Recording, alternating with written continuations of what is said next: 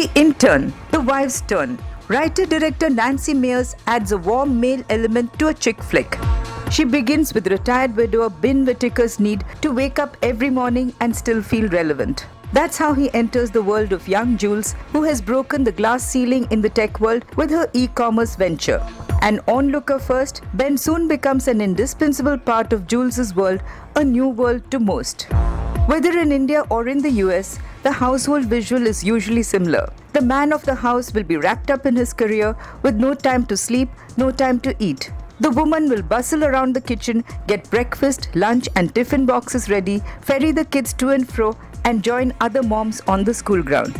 Like a man, can Jules have it all too? Super success in her work and a blissful domestic life? Husband Matt has offered to put his career on the back burner to take care of their home and their little girl Paige.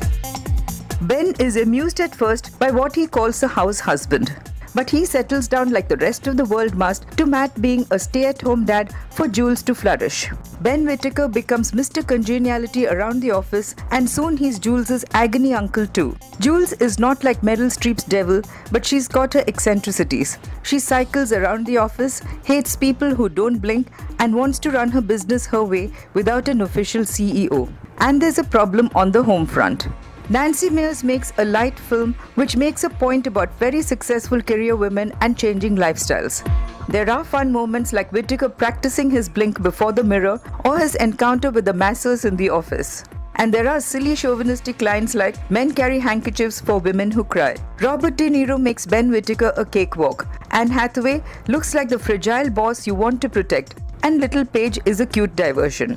But despite starting off with Whittaker's story, be warned that this is essentially a chick film disguised as a family film for all. And it has its little contradictions, like moms must know how to make guacamole.